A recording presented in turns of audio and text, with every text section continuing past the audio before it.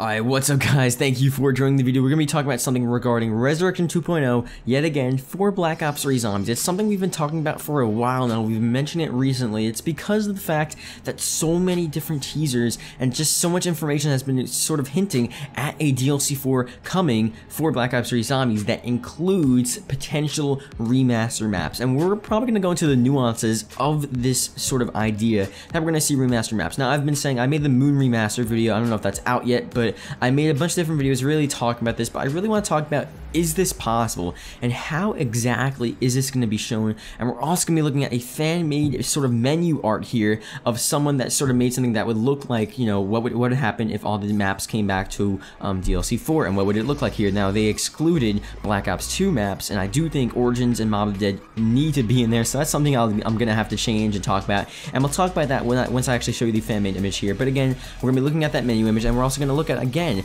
why this is so possible and how it would make sense for it to be released, what they're going to do with the menu, what they're going to do with the season pass holders, how they're going to release it, whether it's all zombies map pack resurrection 2.0, whether it's going to be on the side, how much money it's going to be. We're going to go through all that stuff within this video. So if, again, if you guys can leave a like, that'd be greatly appreciated. Daily like goal, usually 200 likes. We're basically hitting it at this point, guys. Thank you for liking the video and watching all of these videos. I really do appreciate it. And the hype for DLC 4 and Revelations and just the potential and possibility that we can see remaster maps is just so insane. It's so freaking cool. So thank you guys for that. And yeah, we're gonna get started here with talking about DLC 4 Resurrection 2.0 and just the possibilities that we can actually see anything even close to that. So that's just insane. So that's gonna be that. Let's hit our like goal of uh, 200 likes and let's get started. So Resurrection 2.0 we have a couple different possibilities in which we can actually see this map pack. One would be just straight up Resurrection 2.0, like we expected to be. One new Zombies map and four remastered Zombies map, just like we saw with the Resurrection DLC 4 for Black Ops 1, where we saw Moon, and then we saw the four World at War maps come back to the new game and they weren't exactly remastered i think they were just straight up brought back so again we haven't really actually seen remaster maps before we've seen an all zombies map pack but not necessarily like a remastered map pack. So again, this would still be a first uh, to some extent. Now, Another way we can see this would be the remastered maps or the remade maps or the maps brought back, whatever they want to do. We can see them as a Resurrection map pack, but on the side of DLC 4. So I know everyone's been making these videos sort of debunking DLC 4 Resurrection 2.0, basically saying, guys, there's no way we're going to see an all zombies map pick because of the fact that it specifically says that we will see multiplayer maps every single DLC and zombie maps every single DLC. So they have to give multiplayer maps. It's a part of their marketing. It's part of Activision's plan. They have to do it for DLC 4. We're going to get multiplayer maps. But if that's the case, then what if, or what, what is what's stopping Treyarch to give us remaster maps on the side of DLC 4? And by the side, I mean a separate sort of bundle of maps. So Resurrection 2.0 doesn't necessarily need to be a map pack itself, but it could be a side bundle of remaster maps that doesn't even have to include the DLC. It could just be like a couple maps in the Black Ops 3 store that you buy for let's say five bucks each or three dollars each or something, and you get you have a selection of four or maybe even six remastered maps that they brought back. And again, that probably is a lot, a lot of money. Um, but you never know. Maybe it's five bucks for like a, a pack of three maps. Maybe it's five bucks for the whole four remastered map pack there. So you never know what they're gonna do. Maybe they only give us two remaster maps, or maybe even one remaster map. So let's say like the only map they remaster is Moon, and what if they give that to us just as a side map on the side for free for season pass holders? Has nothing to do with the DLC, has nothing to do with anything, but it's just a side free remastered map. I think that's very possible for them to actually do that with one or several remastered zombie maps. If you guys are saying that it's going to be DLC 4 is going to also have multiplayer, if that's the case, then they can definitely do it. There's nothing stopping them from doing remaster maps on the side of DLC 4 with all of that insane stuff. I think that's a huge, huge possibility here. But again, think about it anyway. Whether or not we get it within the map pack, or whether or not we get it within DLC 4 Resurrection 2.0, whether or not we get it on the side, whether or not we get it as a season pass bonus, or something for five bucks each, a pack of five for five bucks, a pack of two for three bucks, like whatever it is, it doesn't really matter because we're gonna look at an image here.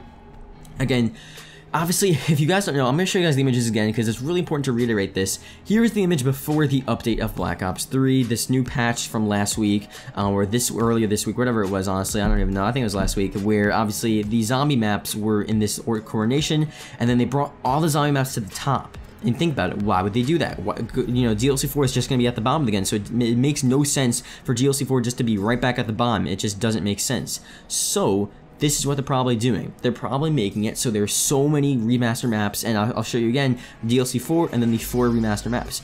But the fan-made image that we're going to look at here, the fan-made menu image, is actually taking that to a whole new level. So here's the image up on screen. You're going to see, instead of having just the two rows like we originally thought, like you just saw in the image, we have three rows, three whole rows for Black Ops 3 Zombies Remastered maps. So I'm going to read you guys this here.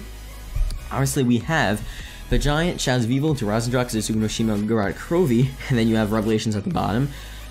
But then you have the maps being brought back. And again, we'll talk about these maps. We'll talk about the possibility of it, of it being three rows and of all these maps returning. So you have Kino der Toten 1, 5, 2, Ascension 3, Call of the Dead 4, Shangri-La 5, Moon 6, Nacht der Untoten 7, and Verrückt 8. Okay, you have 8 remastered maps, or no, Shi No Numa 9. Oh, guys, missed Shi No Numa. Shi No Numa, 9 remastered maps coming to the game. Obviously, Revelations would be the last one.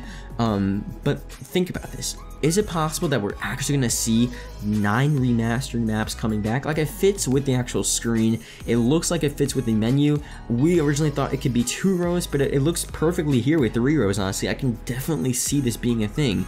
Um, so I'm not so sure how they would release and how much time and how it's even possible them, for them to actually have nine remastered maps. Doesn't really make sense for me.